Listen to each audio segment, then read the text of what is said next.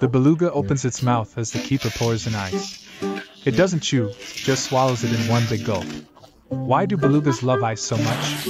Belugas, orcas, and dolphins all enjoy eating ice. They use it to get fresh water. But why not drink water directly? Because the seawater they live in is too salty. They never drink it, and they won't drink fresh water either, they think it's seawater.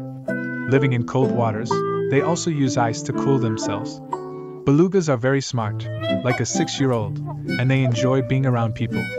If a phone drops in the water, it can dive down and bring it back. If someone can't reach a rope, it will help pass it up. It even likes playfully scaring little kids. It checks with the mom first and waits for her to start recording before performing. But when it gets close to a child, it's extremely gentle. It gives soft, cute kisses to show affection. The moment is funny and heartwarming,